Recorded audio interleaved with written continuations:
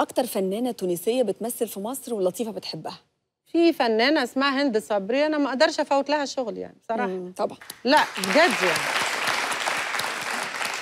طب مين مطربة تونسية معروفة في تونس ترشحيها إن الناس تعرفها في مصر؟ مطرب مش مطربه مين؟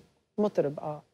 في صوت حلو اسمه أحمد ربيعي أنا طلعته معايا في قرطاج. آه، ده أتوقع له إنه يكون نجم على مستوى العالم العربي كله يعني. صوت من أروع الأصوات يعني. طيب مين ست؟ عندكم أصوات ما شاء الله كتير. مم. تونس معروفة بالأصوات الحلوة. زي أسماء بن أحمد مثلا. مم. أسماء من أحلى الأصوات و... وألفة بن رمضان أصوات حلوة جدا جدا جدا طب انت. ممكن تساعديها وتعرفيها بالناس هنا؟ لو طلبوا مني منتجة. أكيد أكيد. مليون المية مش هتردد ثانية يعني. طيب أكتر مغني تونسي بتحبيه في الثلاثه دول؟ الهادي الجويني آه. لطفي بوشناق آه ولا صابر رباعي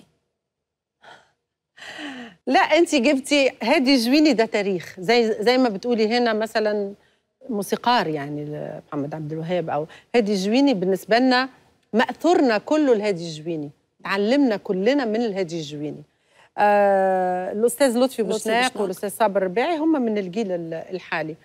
هم الاثنين رائعين طب طبعاً. بتحبي مين بينهم لا حرام. ما تحطينيش في موقف. طب هم مختلفين في الصوت؟ آه. يعني كل واحد ليه style. كل واحد شكل طبعا. يعني أنا بصي أنا يعني أنا طلعت أنا وصابر مع بعض وبحب أتابع صابر وبحب أسمعه. مش معناه إن أنا ما بحبش لطفي بوشناق لا أكيد بحب صوت لطفي بوشناق جدا وأغانيه وتاريخه وشرف لتونس في صوت زي لطفي بوشناق بس أنا ميالة لصابر شوية. كلنا بنحب صابر وبنحب طبعا الاستاذ لطفي بوشناق بس الاستاذ صابر رباعي يعني ما. أعرفش صوته مية كده يعني. طبعا طبعا من ما. بيعملش مجهود. طبعا طبعا. طبعا وتتبسطي. لا فنان مشرف لبلده وللفن العربي عموما يعني.